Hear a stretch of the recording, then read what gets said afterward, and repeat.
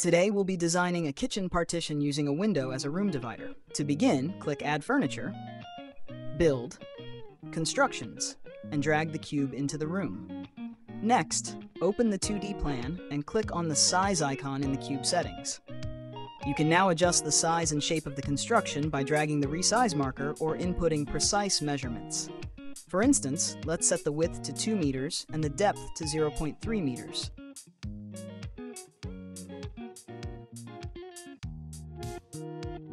We'll also adjust the height to 90 centimeters for a standard bar counter.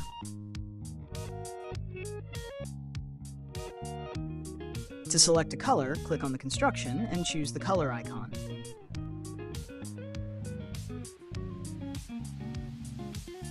Now let's create a ceiling construction using the same method.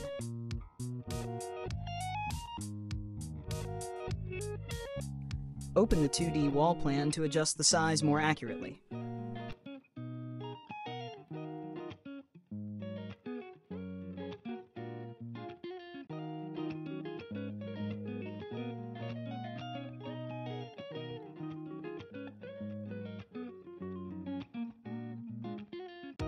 Click on the furniture size and set the depth.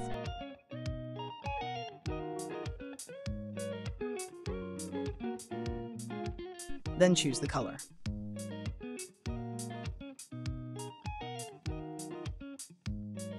With the construction set, we can now build a wall with a door. In the 2D plan, click Edit Walls, Draw Wall,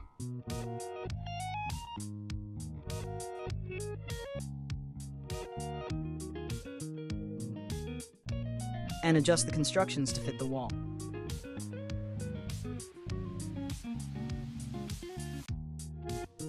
Next, we'll add a countertop. Click Add Furniture, Countertops in the Kitchen Room catalog. Select a freeform wooden slab countertop and adjust its size.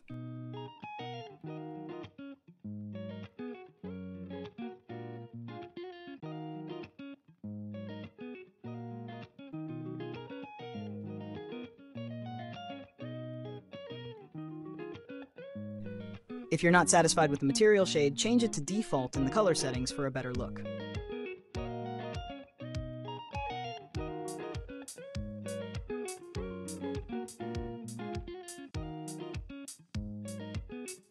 Now let's add a door.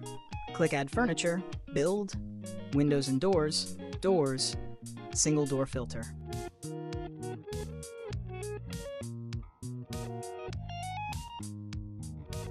With the basic design in place, it's time to add lighting. Click Add Furniture, Lighting Chandelier, Pendant Lamp Filter. Open the ceiling 2D plan to position the lighting accurately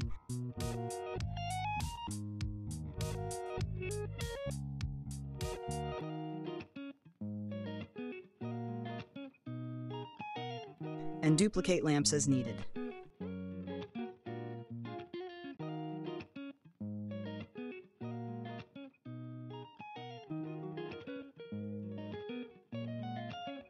To complete the look, add some stools.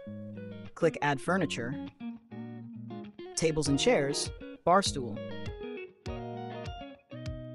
Full Back Bar Stool Filter.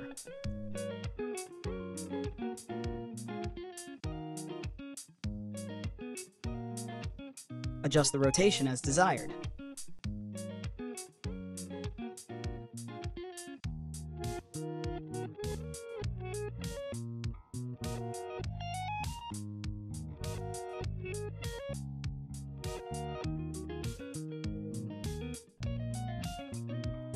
Finally, add decor from the decoration catalog, such as kitchenware and decor.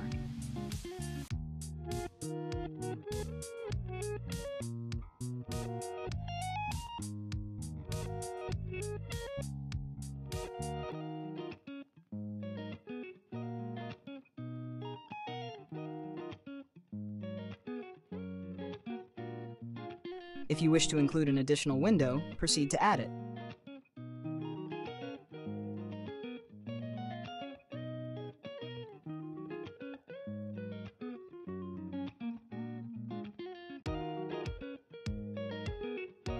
Once everything is set, it's time to take a photo.